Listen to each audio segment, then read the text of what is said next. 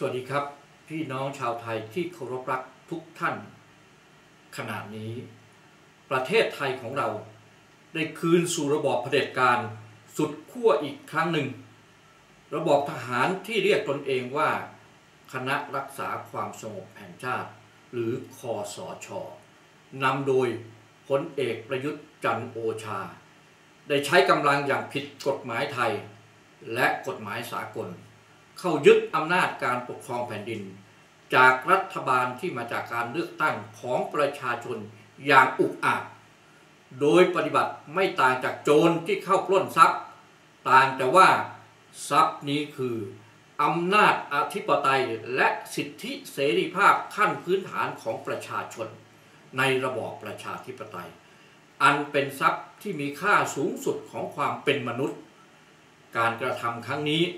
จึงถือว่าละเมิดหลักนิติรัฐ นิติธรรม หลักประชาธิปไตย และยังทำลายย่ำยี สิทธิเสรีภาพ ศักดิ์ศรีความเป็นมนุษย์ นับเป็นอาชญากรรมอันใหญ่หลวงต่อประชาชนชาวไทย การโฆษณาว่า พวกเขาต้องกระทำการยึดอำนาจโดยหลีกเลี่ยงไม่ได้ และคำสัญญาว่าจะคืนความเป็นปกติสุข ให้กับสังคมไทยนั้น แท้จริงแล้วก็คือ การโกหกหลอกลวงขนาดใหญ่ เพื่อให้ประชาชนหลงเชื่อ เห็นผิดเป็นชอบ เห็นปีศาจอุสรุกายเป็นเทวดาอารักษ์จนท้ายที่สุด ก็หวังให้เห็นว่าระบอบเผด็จการดีกว่าระบอบประชาธิปไตย ซึ่งเป็นแนวคิดที่ผู้นำเผด็จการของโลก และของไทยพยายามปลูกฝัง แต่ประสบความล้มเหลวเรื่อยมา ประชาชนไทยได้ตาสว่าง และยึดมั่นในแนวทางประชาธิปไตย สิทธิมนุษยชนตามหลักสากล และยอมรับในวิวัฒนาการทางสังคม จึงต้องประกาศปฏิเสธอำนาจของคณะรัฐประหาร ตลอดจนผลพวงใด ๆ ของการรัฐประหารในครั้งนี้โดยสิ้นเชิง คณะคอสช ที่ร่วมมือกับเผด็จการซ่อนรูปอื่นๆ ในประเทศไทยขณะนี้ ไม่มีความชอบธรรมใด ๆ ทั้งในทางการเมือง เศรษฐกิจและสังคม ที่จะนำพาประเทศไปสู่สันติสุข และความปรองดองได้เลย เพราะพวกเขานั่นเองที่ได้ร่วมกันสมคบคิด วางแผนก่อความวุ่นวายไปทั่วประเทศ และลักลอบสนับสนุนขบวนการโค่นล้มทำลายรัฐบาล ที่มาจากประชาชนตั้งแต่ต้น เพื่อให้ประเทศไทยอยู่ในสภาพรัฐล้มเหลว วงจรประชาธิปไตยหยุดชะงัก และใช้ผลพวงที่พวกเขาได้วางแผนกระทำมาโดยตลอด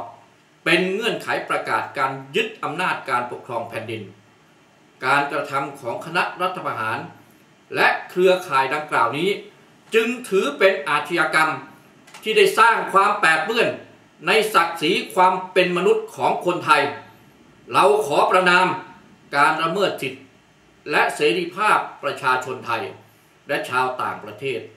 ที่กำลังเกิดขึ้นอย่างกว้างขวาง จนประเทศไทยขณะนี้ ได้กลายเป็นอาณาจักรแห่งความหวาดกลัว แม้ในอนาคตอันใกล้ คณะทหารจะถ่ายโอนอำนาจไปสู่หุ่นเชิด ในรูปแบบใด ๆก็ตาม แต่กลไก ที่ทำลายความก้าวหน้าของประเทศชาติ และวงจรอุบาทนี้ ยังคงกดทับย่ำยีอำนาจอธิปไตยของประชาชนอยู่ต่อไป เราจึงต้องดำเนินการทุกอย่าง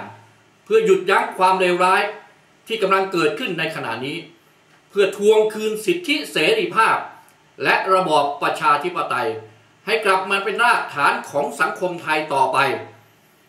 เพื่อให้เจตนารมณ์ ของประชาชนไทย ที่จะล้มล้างอำนาจอันชั่วร้ายให้หมดสิ้น แล้วสถานปนาระบอบการปกครอง ที่ประชาชนเป็นเจ้าของ เป็นผู้ใช้ และเป็นผู้ได้รับประโยชน์อย่างสมบูรณ์ให้เป็นจริงให้จงได้ ดังนั้น เราจึงขอปฏิเสธอำนาจเผด็จการของคณะคอสช และผลพวงทั้งปวงที่จะตามมา และขอประกาศจัดตั้งองค์กรเสรีไทย เพื่อสิทธิมนุษยชน และประชาธิปไตย the Organization of Free Thai for Human Rights and Democracy ขึ้นณเวลาย่ำรุ่งของวันที่ของวันอังคารที่ 24 มิถุนายน พุทธศักราช 2557 เพื่อให้องค์กรนี้รองรับแนวความคิด และการปฏิบัติการทุกชนิดของผู้ที่มีความมุ่งมั่น ในเจตนารมณ์ประชาธิปไตย จากทั่วทุกมุมโลกร่วมกัน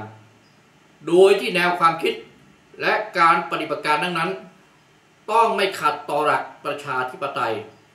หลักสิทธิมนุษยชน หลักกฎหมายสากล และหลักการไม่ใช้ความรุนแรงใด ๆ เสรีไทย เป็นคำที่มีความหมายลึกซึ้งในสำนึกทางประวัติศาสตร์ ที่สะท้อนความใฝ่เสรีภาพ การรักศักดิ์ศรีของสามัญชนไทย ได้เป็นอย่างดีจึงถือเป็นชื่อมงคล เหมาะแก่การทำหน้าที่ประสานการต่อสู้ เพื่อทวงคืนสิทธิมนุษยชน และประชาธิปไตยของประชาชนไทย จากทุกมุมโลก ดังที่บรรพบุรุษของไทย ได้เคยกระทำการมาแล้ว ข้าพเจ้าและเพื่อนผู้ร่วมอุดมการทั้งในประเทศไทยและทั่วโลก จึงได้มีมติร่วมกัน ในการจัดตั้งองค์กร เสรีไทยเพื่อสิทธิมนุษยชนและประชาธิปไตย โดยมีวัตถุประสงค์เบื้องต้น ในการก่อตั้งดังนี้ 1. ต่อต้านระบบเผด็จการทหาร และเครือข่ายอำมาตย์เพื่อให้อำนาจสูงสุดเป็นของประชาชน 2. ฟื้นฟูและเสริมสร้างระบอบประชาธิปไตย ให้มีความถาวร และเป็นเสาหลักของสังคมไทย 3. เคารพศักดิ์ศรีความเป็นมนุษย์ ความเสมอภาค เสรีภาพ และสันติภาพ 4. ส่งเสริมระบอบเศรษฐกิจเสรี และเป็นธรรม 5. ปฏิรูปวัฒนธรรมไทยให้สอดรับกับระบอบประชาธิปไตย 6. พัฒนาคุณภาพประชาชนไทย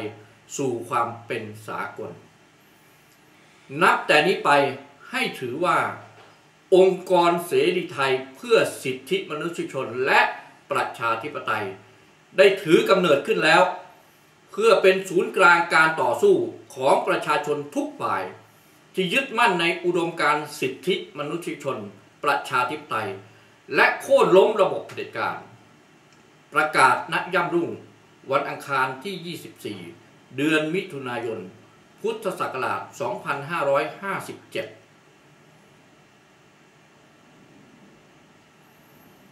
ข้าพเจ้า นายจารุพงษ์เรืองสุวรรณ เลขาธิการ